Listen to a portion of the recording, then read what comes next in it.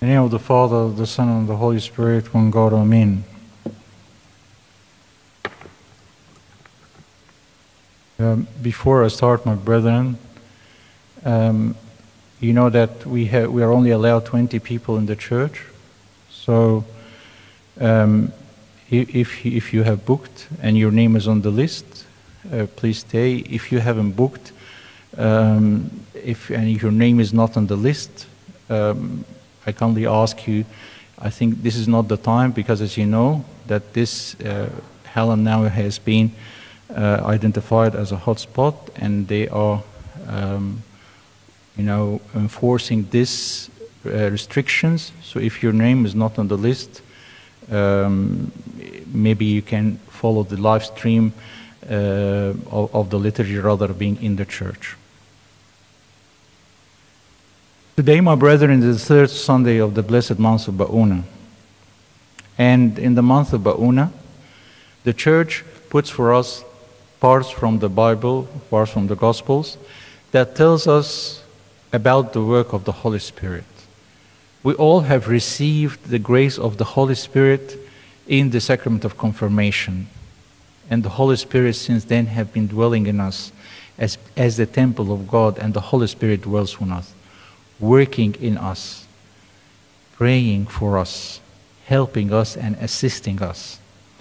And I wonder how many times did I thank God for the grace that He gave me and gave every one of us, that the Holy Spirit is with us. But the Holy Spirit that dwells in us, who works on us, and the Lord gave to us so that can assist us and help us and comfort us and be with us in every step of the way. But actually, we can sin against the Spirit that is in us we can sin against it. The first sin we can do against the Holy Spirit was expressed by St. Paul in his epistle to the Ephesians. He said, Do not grieve the Holy Spirit. We can grieve the Holy Spirit. He said that do not grieve the Holy Spirit of God by whom you were sealed for the day of redemption. We can grieve it he continues to say, How can we grieve the Holy Spirit? We can grieve it by bitterness, by wrath, by anger, by clamor, by evil speaking. All these things, all malice, this will grieve the Holy Spirit. And on the contrary, the Holy Spirit can rejoice within us. If we are kind to one another, if we are tender hearted, if we forgive one another as God Christ forgave us. So we can grieve the Holy Spirit and we can make the Holy Spirit rejoice. This is the first sin that we can sin against the Holy Spirit. The second one was also expressed by St. Paul in his first epistle to the Thessalonians. He said, Do not quench the Spirit. Do not quench it. You know, the Spirit of God, the Holy Spirit, is called the fiery Spirit. It's in, in us as a fiery Spirit. And this is why um, the Holy Spirit manifested Himself as many forms. And one of the forms in the day of Pentecost was as a tongues of fire to tell us that the Holy Spirit is like fire. And it is like fire who um, spread the word of God in the whole world. It's as fire that comes in us and give us this holy zeal. However, we can quench the spirit. It's like putting water on fire and it quenches the fire. We can quench the spirit. How do we quench the spirit? He continues to say, by despising the prophecies. When God says that I have prepared a place for you, that there is eternal life, and we despise them. By choosing death, the Lord told us in the book of Deuteronomy, I have put before you life and death. Choose life, and we choose death. This is how we quench the spirit. He told us to test all things, to hold to that what is good, and abstain from every evil, from every form of evil. This is how we do not quench the spirit. is by holding to what is good and that we abstain from every form of evil. So we can quench the Spirit. And this is the second sin that we can do against the Holy Spirit, who we receive the grace of in the confirmation. There is another sin also against the Holy Spirit mentioned in the book of Acts, chapter 7.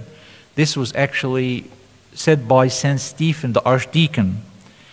He told this to the Pharisees and to the priests and to the Jews. He said, You stiff necked and uncircumcised in hearts and ears, you always resist the Holy Spirit,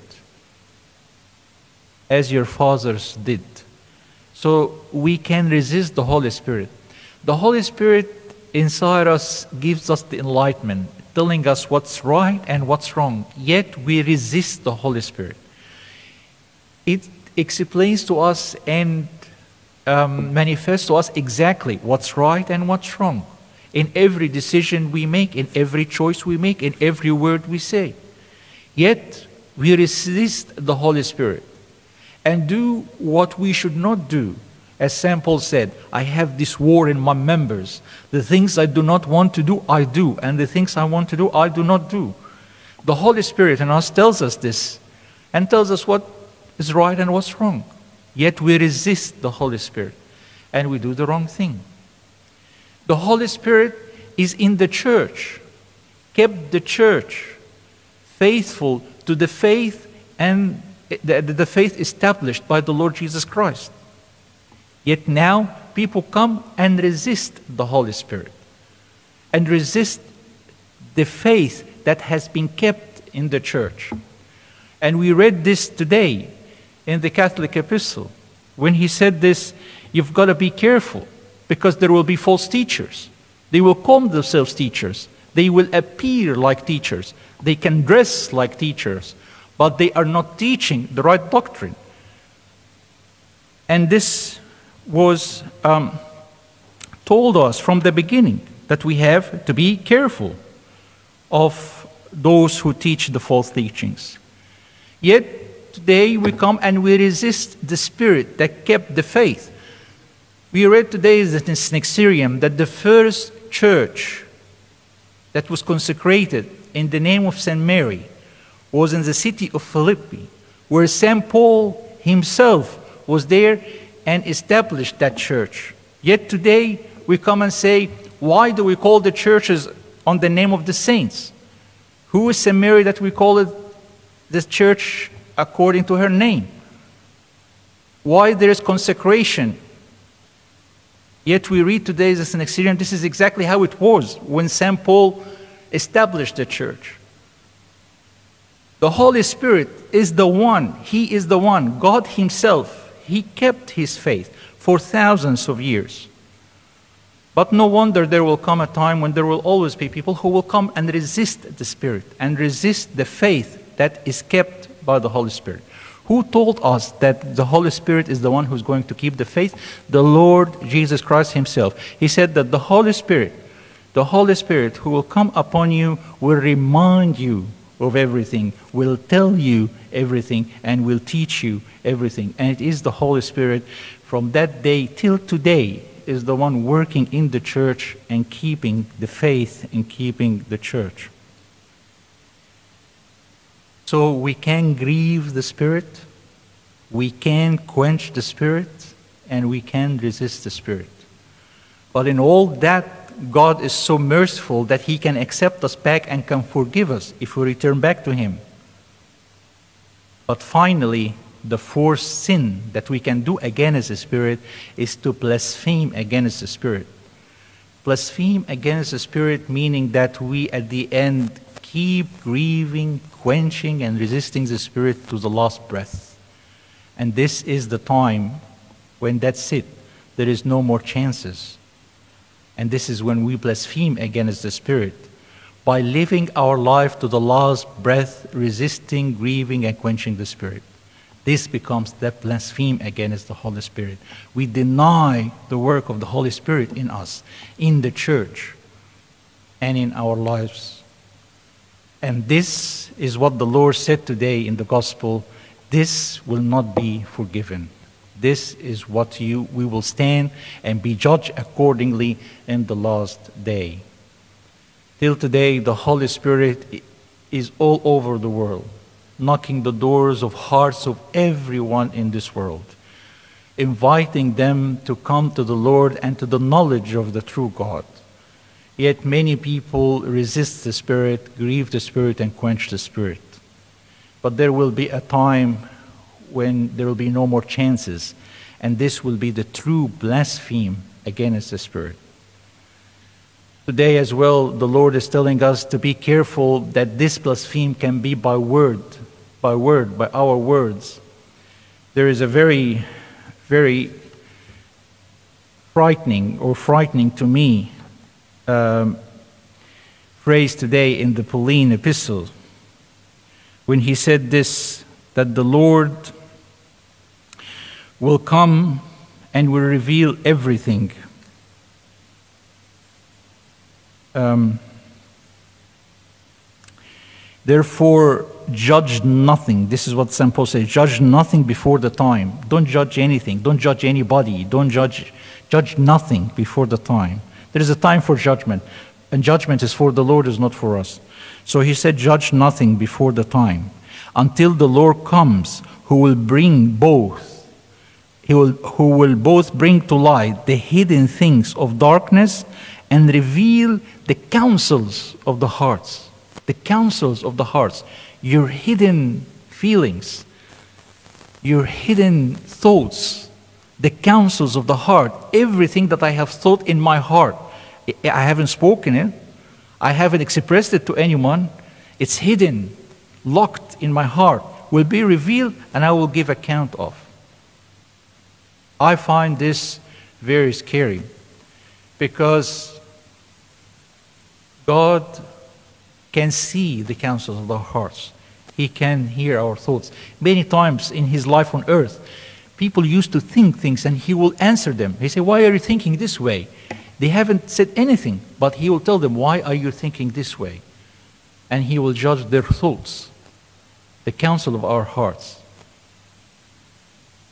I know today we even go further and we express this by every kind of media and we express our opinions. And now on Facebook and all the social media, everybody is expressing his opinion, regardless of who he is or if his opinion is right or wrong. And people follow that and follow that, and it doesn't really matter. And they take this opinion and take this opinion. Also, today in the readings, we are going to give account of every idle word. Every idle word. Idle word means a word that we said that does not build. Like it doesn't do anything. It's not negative, and it, it, it, it's not, it does not build, but it is idle. It does nothing. God gave us the ability to speak and to say words to build, to build those who are around us and to build ourselves and to praise Him and to thank Him. So we'll give account of all this. Those who say there is no judgment, how can they explain this?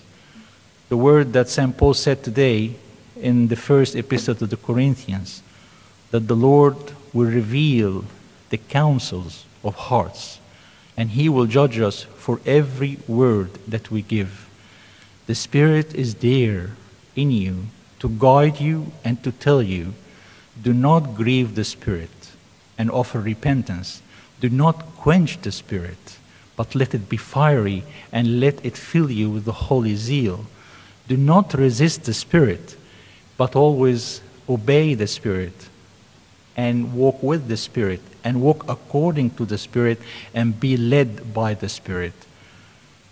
So that we can all be saved from standing before the just judge in the last day and be accused of blaspheming against the Spirit.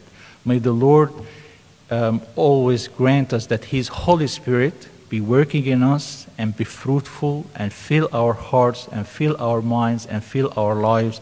And glory be to our God forever and ever. Amen.